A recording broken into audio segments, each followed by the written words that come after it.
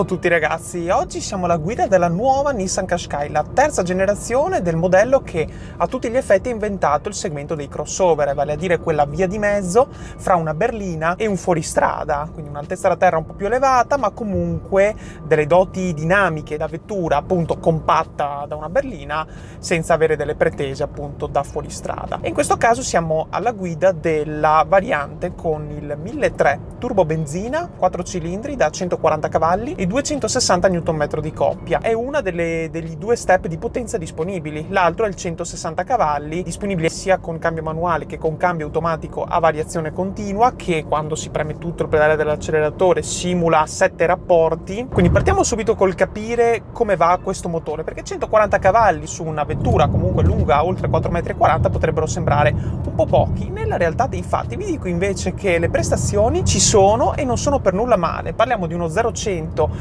coperto in 10,2 secondi e una ripresa da 70 a 120 km/h in quinta marcia, adesso vi spiego perché in quinta marcia, non in sesta, in 14,2 secondi. Comunque dei buoni dati che confermano anche che insomma è un motore che riesce a essere adatto a tutte le circostanze, anche ad esempio all'ambito autostradale. La ripresa è solo un po' lenta quando siamo al di sotto dei 2000 giri perché la rapportatura è un po' lunga uno in alcune marce e due per via della presenza del filtro antiparticolato necessario anche nei motori a benzina per omologare questi motori no, con la normativa Euro 6D. Nello specifico si nota che è parecchio vuota in basso in seconda marcia, tant'è che è molto molto lunga la seconda, così come è lunga la sesta. Certo, va a beneficio di consumi e del comfort acustico perché a 130 km/h la vettura in sesta gira circa 2600 giri, quindi un regime tutto sommato anche valido. Però ecco, ho notato comunque queste, mm, queste due cose. Qui abbiamo un cambio manuale a 6 marce con una frizione direi perfetta perché pesa il giusto ed è ben modulabile, si capisce bene subito il punto di stacco e non affatica mai. E un cambio con gli innesti belli precisi, non sono dei più secchi ma voglio dire non siamo neanche su una sportiva quindi va benissimo così, e una rapportatura che come vi ho detto in alcune marce è un po' lunga. La leva si raggiunge davvero bene perché è ben rialzata, quindi io appoggio il gomito sul bracciolo e la mano diretta sulla leva, quindi molto molto confortevole. In generale anche la posizione di guida. Attenzione però che questa non è una Qashqai benzina normale perché tutte le due varianti sono mild hybrid a 12 volt, quindi un mild hybrid davvero molto molto molto leggero perché vi dico al lato pratico non si percepisce affatto la sua presenza. Praticamente sembra che ci sia comunque un motorino d'avviamento da accendere e riavviare la vettura durante gli start e stop perché si sentono gli, i classici scossoni da motorino d'avviamento e anche lo start e stop comunque a me non si è mai attivato al di sotto dei 30-20 km/h come invece dichiara Nissan. Quindi guardando anche i mild hybrid della concorrenza come quelli di Ford oppure di Hyundai, secondo me poteva essere fatto un lavoro migliore.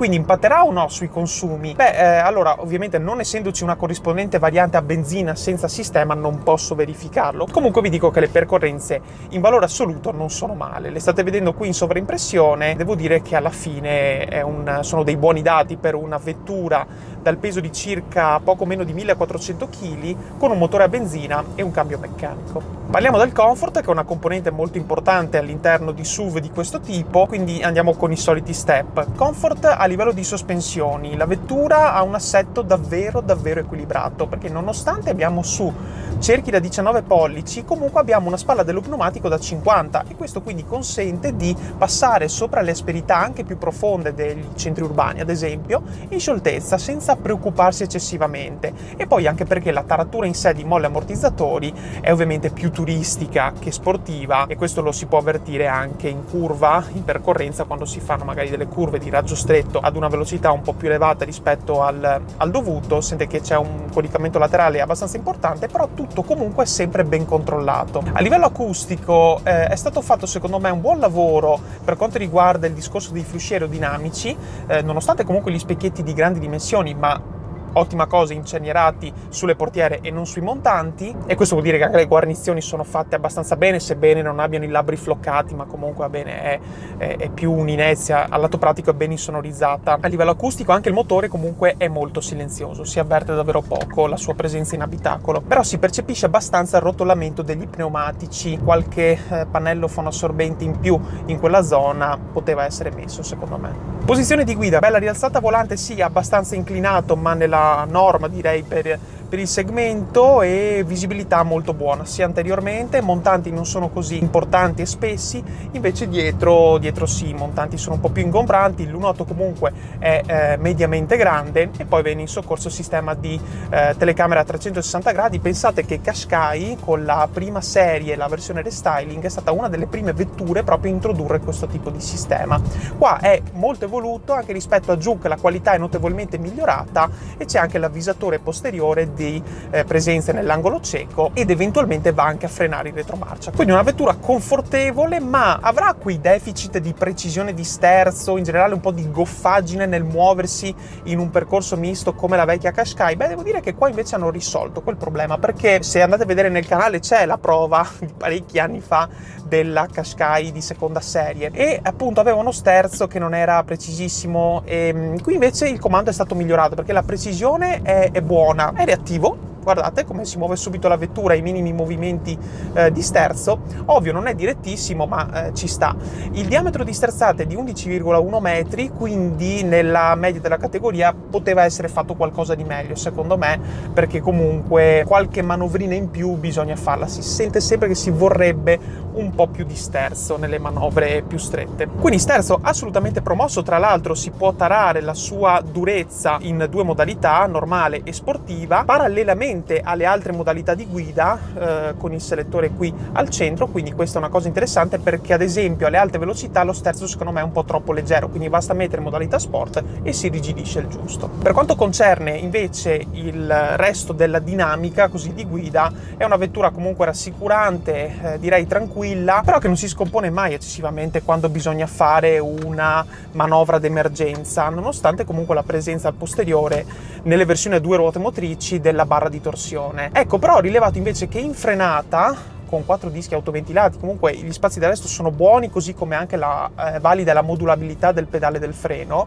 Ho notato invece qualche alleggerimento di troppo del retrotreno, infatti si percepisce un po' di movimento della coda dietro. Ecco, lo percepisco proprio in una curva come questa che il telaio è parecchio rigido, proprio la vettura torce pochissimo e quindi direi una combo tra telaio e assetto che comunque è davvero ben studiata. L'hanno migliorata molto da questo aspetto la nuova Qashqai. Parliamo ora della tecnologia di assistenza alla guida abbiamo il ProPilot, quindi sistema eh, di Nissan che include il cruise control adattivo in abbinata anche al centraggio automatico della corsia. Sistemi che in abbinata funzionano bene nonostante comunque il cruise control adattivo sotto i 30 km h si stacchi perché abbiamo il cambio manuale.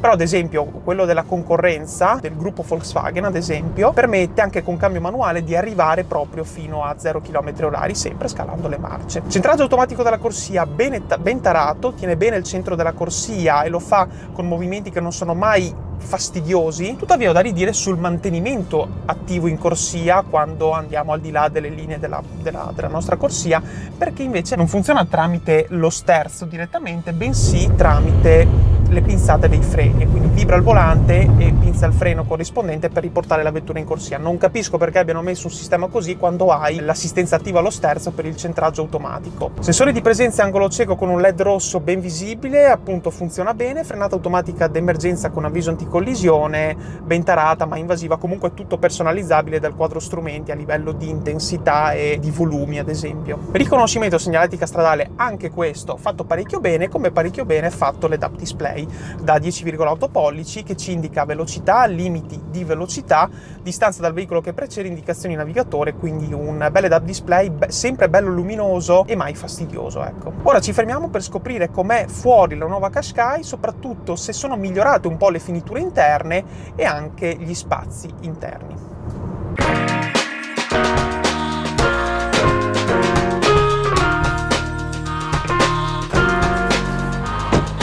Ebbene, diamo un'occhiata all'esterno della nuova Qashqai perché anche qui abbiamo più un'evoluzione che una rivoluzione. Hanno fatto bene perché eh, vale sempre il solito detto, squadra che vince non si cambia. A livello di dimensioni la vettura sembra parecchio più grande rispetto alla vecchia Qashqai, ma in realtà la lunghezza aumentata di soli 4 cm, 3 in larghezza e 4 in altezza. In generale comunque le proporzioni sono rimaste più o meno quelle con un'esasperazione, vediamo qui davanti, della V-shape, quindi della calandra a forma di V con al centro centro radar per il cruise control adattivo e i fari che sono qui dei matrix LED per l'allestimento Tecna. Devo dire che fanno parecchia luce, l'automatismo che accende e spegne le varie matrici di LED sulla base di chi sopraggiunge o chi precede funziona bene, è preciso e non rischia mai di abbagliare eh, qualcun altro e poi vediamo che ci sono molte più nervature rispetto alla vecchia generazione, soprattutto al posteriore la vettura si fa un po' più appuntita, un po' più spigolosa e quindi leggermente più aggressiva. Anche i fari posteriori sono diventati, direi finalmente, completamente LED. Ora diamo un'occhiata all'interno e anche per capire soprattutto il cambio di finiture e di spazio per i passeggeri e per i bagagli.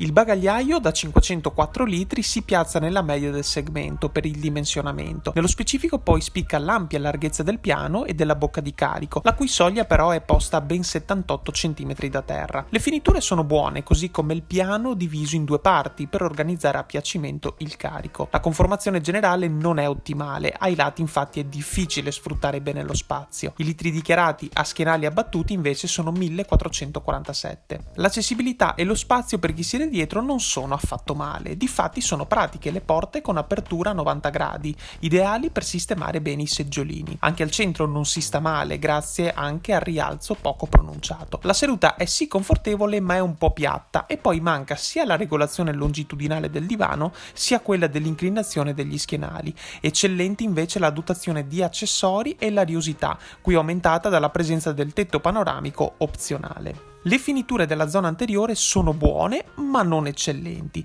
È piacevole la finta pelle che riveste sia la plancia che i cuscini per le ginocchia, come vi ho mostrato nella mia stories curiosità di Instagram, ma le plastiche rigide abbondano e non sono delle più solide ai movimenti. Per fortuna è rimasta l'ergonomia dei comandi della vecchia Qashqai. Il clima ben funzionante è separato dallo schermo dell'infotainment Nissan Connect da 9,2 pollici. Quest'ultimo è lo stesso visto nella Juke. È intuitivo nell'uso, personalizzabile nelle schermate, dotato di CarPlay senza cavo e connesso per la ricerca dei punti di interesse nella navigazione e il controllo da remoto tramite l'applicazione, che peraltro è molto fluida. Un po' come nel nuovo schermo della strumentazione peccano, secondo me, alcune grafiche un po' datate e grossolane nell'aspetto. Infine, tutti i vani portaoggetti non sono rivestiti, ma quelli presenti sono comunque abbastanza capienti. Ebbene, eccomi rientrato nella sede di Musile di Borsoi, che ringrazio ancora tanto per avermi concesso questa nuova Qashqai in prova. Per il momento c'è solo un motore, questo 1.3 turbo declinato come vi ho detto prima in due potenze e con cambio manuale o cambio a variazione continua, due o quattro ruote motrici. Quindi è vero, mancano forse un po' di motorizzazioni, manca un ibrido che dovrebbe arrivare fra non molti mesi, manca la versione elettrica con generatore che arriverà il prossimo anno, quindi per il momento è una gamma un po' scarica come quella della Juke effettivamente. Comunque vi dico i prezzi prezzi questa vettura specifica Tecna con il bicolore, il tetto panoramico e il ruotino, chiavi in mano, costa 36.800 euro. Scontata qui da Borsoi circa 34.500 senza rientro, poi ad esempio con rientro o finanziamento arriviamo anche a 32.000. Comunque vi lascio i contatti in descrizione per farvi fare un preventivo personalizzato anche a distanza per una Qashqai e ne hanno già qualcuna in pronta consegna. Quindi cosa dire? Io vi aspetto nei commenti per sapere un po' cosa ne pensate pensate, soprattutto se siete possessori di Qashqai di precedente generazione, di farmi sapere se siete convinti su quella nuova oppure come vi trovate con quelle vecchie. Seguitemi su Instagram per rimanere aggiornati sulle chicche le curiosità delle vetture che vado a provare. Spero che vi piaccia, ecco fatemi anche sapere se quel format di Instagram vi piace e iscrivetevi al canale se non l'avete ancora fatto. E noi quindi ci vediamo al prossimo video.